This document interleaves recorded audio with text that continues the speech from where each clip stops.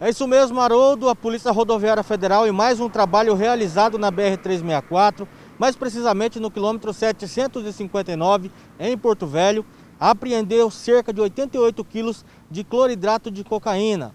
Ou seja, os policiais estavam realizando uma abordagem de rotina e em dado momento avistaram um caminhão em atitude suspeita.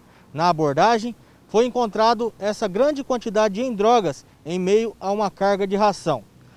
Foi aproximadamente 34,5 kg de cloridrato de cocaína e mais 53,5 kg de pasta base. A droga era toda transportada em meio a essas rações e mediante a isso a polícia deu voz de prisão ao condutor.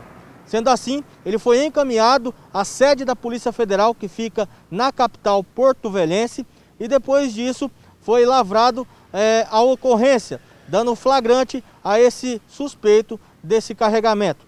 É importante ressaltar ainda que a, o prejuízo ao crime organizado foi em cerca de 13 milhões de reais. A polícia continua fazendo é, essas buscas e até mesmo investigação para saber a origem dessa droga, qual era o destino que ela tinha, se esse percurso já era feita outras vezes ou se essa foi a primeira vez, tudo isso agora fica a cargo da Polícia Federal do Estado de Rondônia. As imagens são de Lucas Figueiredo, Jefferson Santos para o jornalismo da TV Suruí.